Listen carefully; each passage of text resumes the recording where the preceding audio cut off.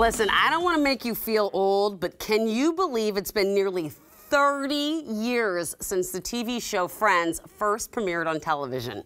Well, the hit show about six quirky friends has only gotten more popular over time and is now being brought to life here in Seattle with a new experience. We went out to check it out.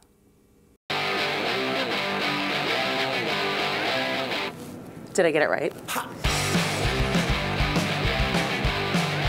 Could I be wearing any more clothes? Pivot! The show Friends was an instant success. It was like a cultural phenomenon that even inspired haircuts and fashion. So dig out your baby doll tee, strap on a choker, and come with me because we're late for coffee with friends. Welcome to Central Perk, the main meeting place for our six zany friends but I'm joined by my friend Stacy Moscatelli. Thank you for being here. Thanks for coming. Well, I should say thank you for inviting me to the Orange Couch. How many episodes does one have to watch to get the set exactly right? We watched all of them multiple times, and then we also worked with the Warner Brothers Archives team to study frame by frame.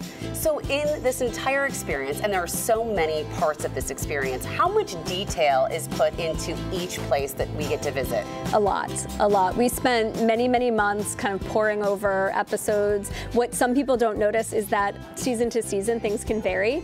So it might be something like the couch um, in Monica's apartment is a little bit different through seasons. The carpet, the pillows, things like that change. And so we had most to think about iconic. what's the most iconic. Yeah. Things like Central Perk, this fabulous cup of coffee. When you come in here, you literally feel like you're transported into an episode. How many people have said, thank you for letting me be part of something I love so much? everyone. Everyone loves it. And you know it's exactly that. You know it, it, the experience starts with the opening credits and it ends in central perk which is just how an episode happens right? Are you having fun back there? Oh my god so much fun this is incredible what made you decide that you had to have the waterfall as part of this experience? Well, you know, every episode starts here, so we felt like it was a must-have, and it lets fans kind of have that experience of an episode. So when they come and take pictures here, like what are the kind of pictures you've seen people take? People dance, for sure, so they get, you know, some video, like you. They definitely sit down and kind of get their friend group in, and a lot of people sort of do the, you know, at the end when they finish dancing, they all sit down and turn off the light. Well, let's get this tour started, but in the style of the show. Lights off, please. And here we are in the boys' apartment.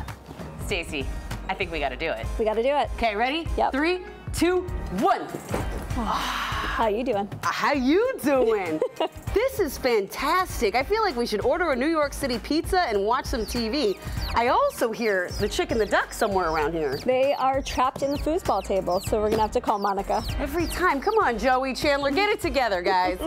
I love all the little things that you have in here, the little pieces that really tie it together, like the Three Stooges, mm -hmm. and you even have Hugsy. We have Hugsy. It's one of the few places you can see Hugsy. And Hugsy was Joey's favorite bedtime pal. Yes.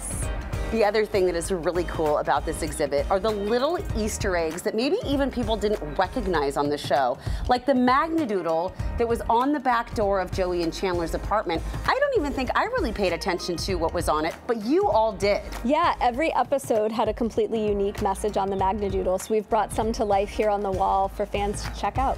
What is your favorite one?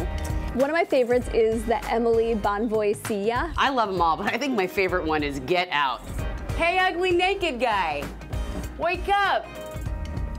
Stacy! Stacy, Stacy, you're not gonna believe this. What? I just saw Rachel and Joey kissing in the hallway. Oh my God. okay, sorry, sorry. I get a little happened. character here. but you cannot help it when everything is so close to the real thing. I have always wanted to sit and have coffee in Monica's kitchen, and here I am. This is one of my favorites. This is amazing, and everything is just how I remember it. Even the cute, adorable cookie jar. Yeah, we spent a lot of time studying and looking at what was on Monica's shelf and recreating it for everyone. So you didn't just find this at the art you had to recreate everything. Yes. One of the hard parts is textiles. The good thing was that Monica had a few different versions. We were able to get, to get close enough. Obviously, this is an experience, but you want people to feel like they're here.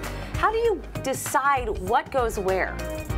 Gosh, I mean, it's really, some of it's about, you know, throughput and getting people in the space, but it's also really thinking about what is that iconic moment that people want to relive. Mm -hmm. And so mm-hmm. to your point, a lot of people want to sit at the table um, and sort of have that moment sitting down with a friend or a family member or a significant other and kind of recreating sitting at the table where so many important conversations happen. So many secrets shared at the table. I wonder how many more secrets will be shared during the Friends experience. Stacy, thank you so much for inviting us into this New York City apartment building here in Seattle. Thanks for coming.